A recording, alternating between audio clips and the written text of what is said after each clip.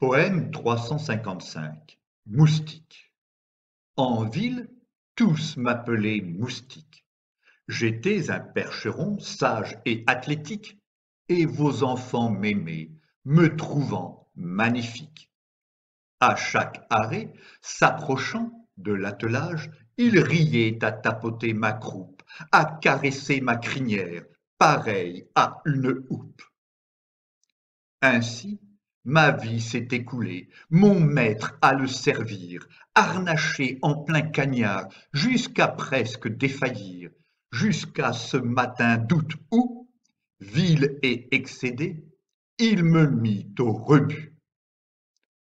Pourquoi nulle gratitude envers un compagnon, même fourbu? Exécutant docile, bien qu'il n'eût jamais à trop me houspiller, entre guillemets, pour me faire avancer sur l'avenue, dans le flux des voitures soutenues, je sentais qu'il aurait bien aimé, mais, de crainte d'être blâmé, qu'il se retenait. Je n'étais, à ses yeux, au fil des étés, qu'un esclave à sa botte, n'ayant guère la cote.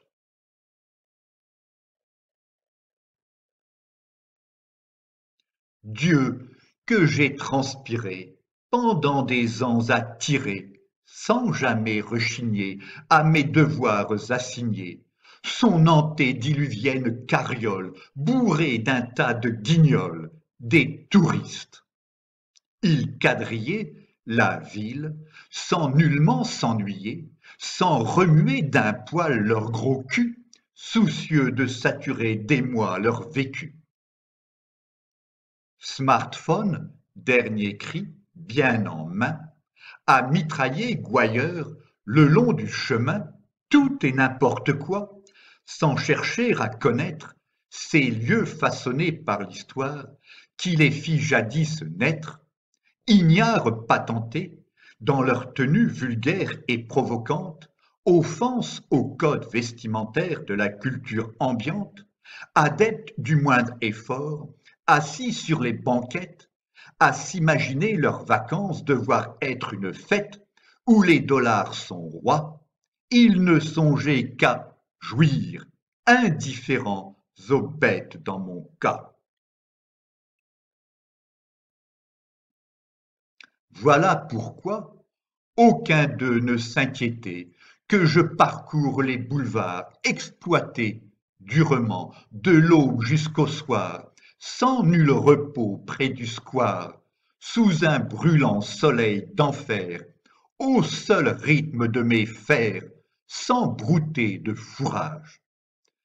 Quels épuisants voyages, à rêver parfois de galop et aussi d'un peu d'eau. À rigoler et boire, à ne voir se succéder de leurs perchoirs que façades et balcons et gens trop vite classés guère engageants, faute leur singulier et attachant passé de vouloir le connaître, hélas trop pressés, comment une seule seconde aurait-il pu, pusillanimes et rieurs, et d'eux-mêmes trop imbus, s'apitoyer sur moi. Même pas ce dimanche où, épuisé, je me suis affalé sur l'asphalte par l'âge et l'effort trop usé. C'est alors qu'au milieu des badauds qui m'observaient à terre, autour de moi pour prendre un selfie en se donnant des airs, j'ai d'emblée discerné à ta colère de cocher qui, sans cesse, tiré sur la bride de mon harnais avec tant de rudesse que, si je ne me bougeais pas, tu en viendrais vite à me fouetter. D'instinct, en un sursaut de suite, je me suis relevé avant que tu ne me cravaches, pressentant cependant qu'à faillir à ma tâche, comme je l'avais fait, dans ton fort intérieur, mon sort était scellé à ton regard tueur.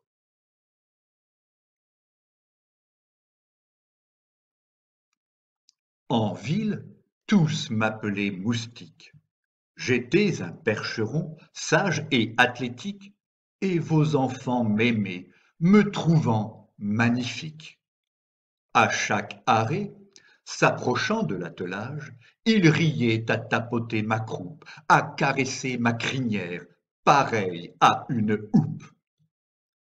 Ainsi, ma vie s'est écoulée, mon maître à le servir, harnaché en plein cagnard, jusqu'à presque défaillir, jusqu'à ce matin d'août où, vil et excédé, il me mit au rebut. Pourquoi nulle gratitude envers un compagnon, même fourbu.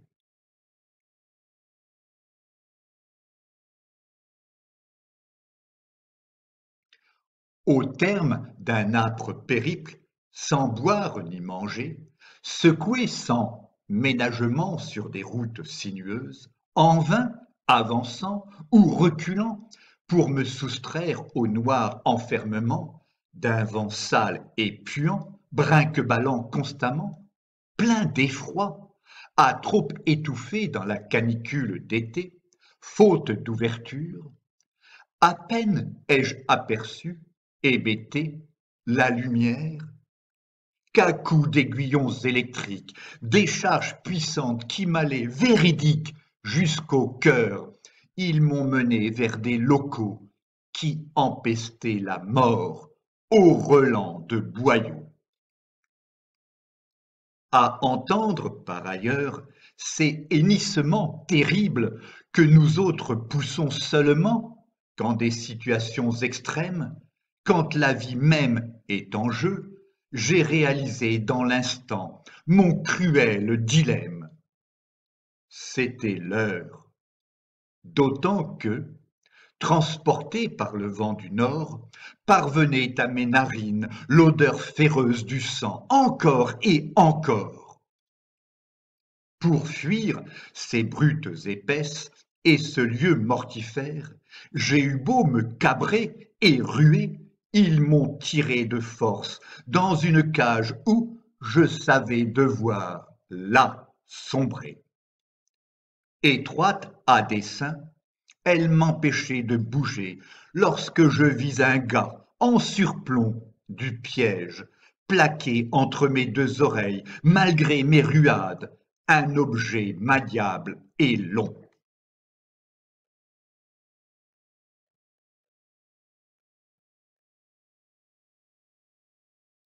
Soudain, dans une douleur aiguë, atroce et foudroyante, qui traversa mes chairs, concomitante à un bruit sec et bref, dans mon crâne j'ai senti une chose s'enfoncer, pénétrante et percutante, m'assommant à ce point qu'à chanceler sur mes jarrets, je me suis effondré. C'est alors qu'une trappe s'est ouverte me faisant basculer les quatre fers en l'air, au comble de l'infortune, au pied d'un homme en habit blanc couvert de taches rouges. Malgré mes mouvements violents, il m'a empoigné une patte arrière pour l'attacher à une corde et brutalement m'a treuillé, hissé si haut que mon corps lourd et massif pendait, m'occasionnant des souffrances indicibles, de ma croupe au sabot, tout mon poids s'exerçant sur un unique membre. À la violence de cette pratique barbare, j'ai repris connaissance, voyant s'écouler sur le sol des filets de sang jamais taris. Têtes en bas, tous suspendus, à saigner mes semblables sur la chaîne d'abattage, la veine jugulaire sectionnée d'un seul coup de poignard, en panique et en nage, j'ai redressé le cou en quête d'un horizon moins triste. À vouloir échapper à mon fatal destin en m'agitant en tous sens, le tueur énervé a deviné, impassible démon, que j'observais la scène lucide.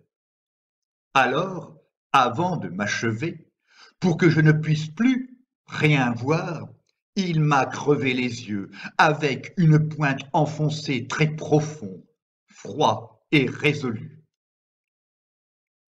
Plus tard, quand vint mon tour, me débattant encore vivement, d'un coup de tranchoir, il m'a coupé la carotide, libérant des flots rouges. Ainsi, avant de m'abîmer dans le noir, ai-je vécu les affres d'une lente ignominieuse agonie. Voilà donc notre avenir, à nous autres, vos animaux de compagnie. Égorgés vivants, finir, hachés, dans vos plats, loin des nôtres.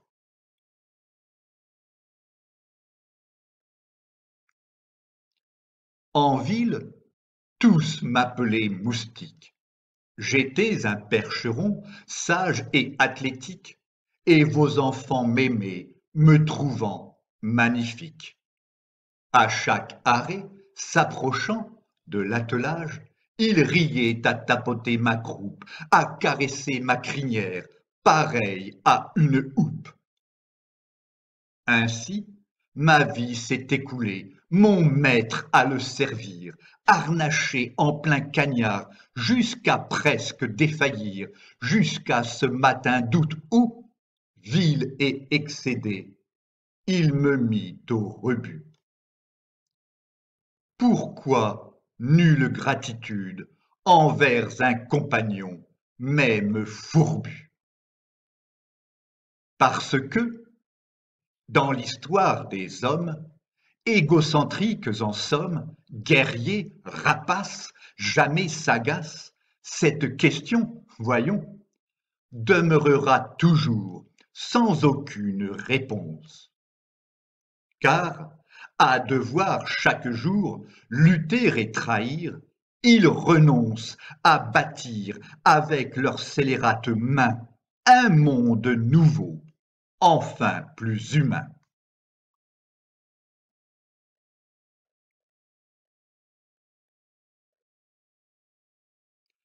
Fable tragique écrite par Philippe Parot entre le 27 octobre et le 2 novembre 2018.